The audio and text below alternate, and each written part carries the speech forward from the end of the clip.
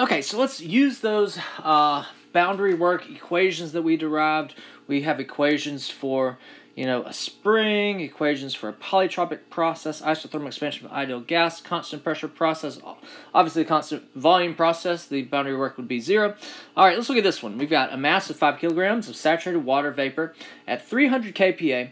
It's heated at a constant pressure until the temperature reaches 200 degrees C. So this is a constant pressure process.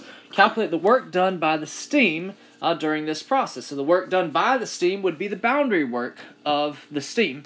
Uh, so the boundary work, we've got our equation for a constant pressure boundary work is pressure times change in volume. Pressure times change in volume. Um, we've got the pressure.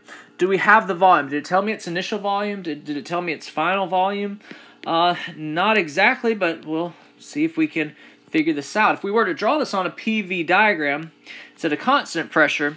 Uh, it's heated, so we are expanding. So we're kind of going from state 1 to state 2 at a constant pressure.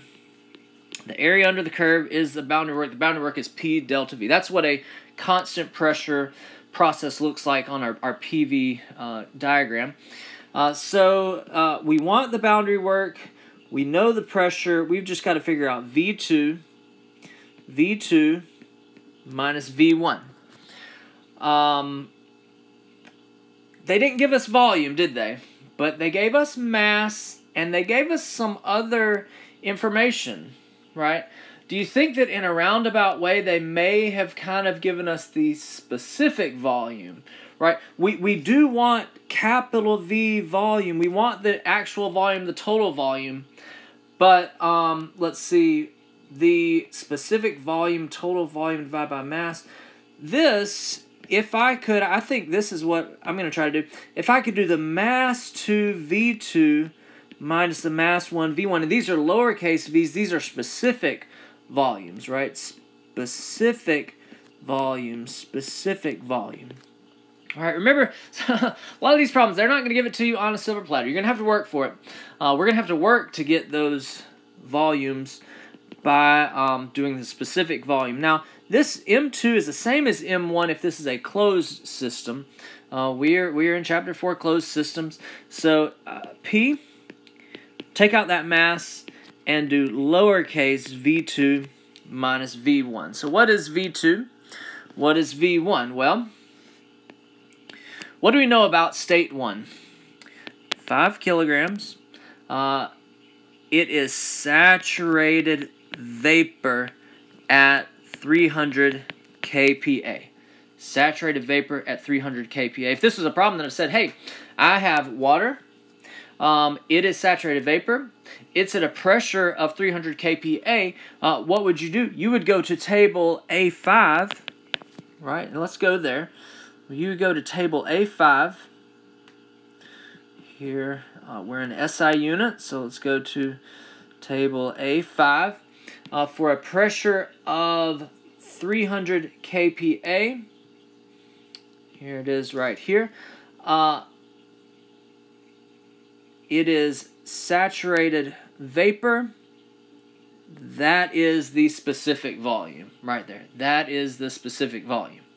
All right, 0.60582. So uh, I know we're in a new chapter. We're we've we're done with with test one, but you still have to use those property tables. Still have to be able to use those property tables. This one, the specific volume at state one is 0.60582 meters cubed per kilogram. 0.60582 meters cubed per kilogram. Okay, got it. Also, I have all these as well.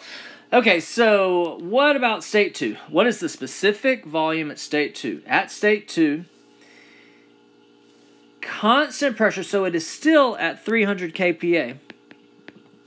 Uh, but it, it is being heated. Uh, the temperature reaches 200 degrees C.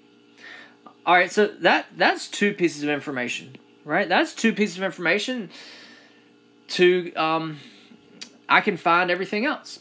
Uh, so my first instinct is, okay, is it saturated? Is it a mixture? Is it superheated? Is it subcooled? I think you could you could kind of guess if it was saturated vapor and we're heating it at a, and the pressure stays the same, it's going to be superheated. But I would I would start at A4 or A5 and it would show me that my temperature's too high or it would show me hey my pressure's too low. Either way, it would show it would lead me to superheated. So I would find that it is superheated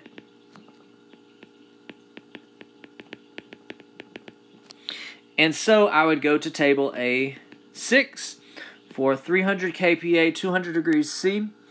So go to uh, property tables A6,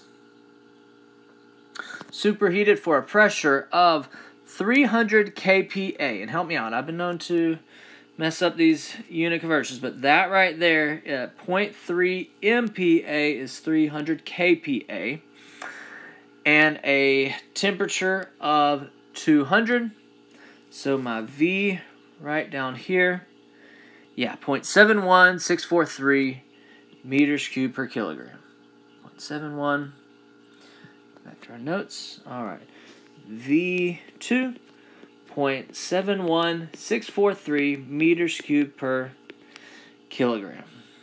All right, so now I can find the boundary work. Now I can find the boundary. The boundary would be 300 kPa, 5 kilograms, uh, and V2.71643 meters. Let me look at my units here, make sure meters cubed per kilogram minus 0.60582 meters cubed per kilogram. All right, and so I, I would multiply those together.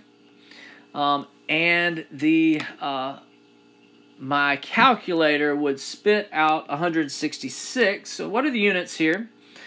Uh, this is kilograms, cancels out with those. Kilogram meter cubed is the same thing as a kilojoule. Let me think about this.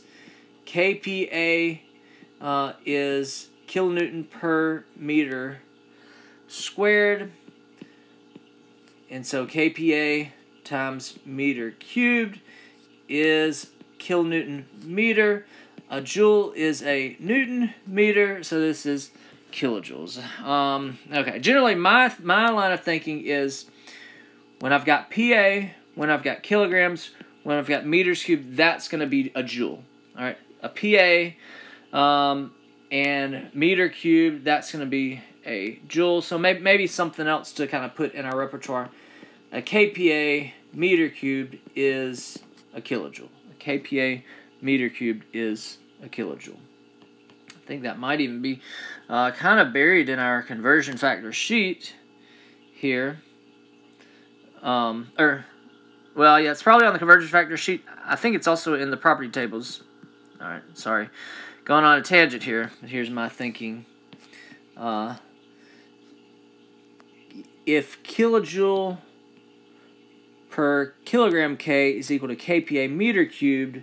Well, it's really telling me kPa meter cubed is a kilojoule. kPa meter cubed is a kilojoule. Okay, so there we go. That is the boundary work for, and no, no other work done. So it didn't say anything else about any other work done. So the only work done is the boundary work. We've got an equation for boundary work for a constant volume constant pressure process, sorry. And in order to get these volumes, we had to use the specific volumes. Still had to use property tables. All right. Let's look at another one.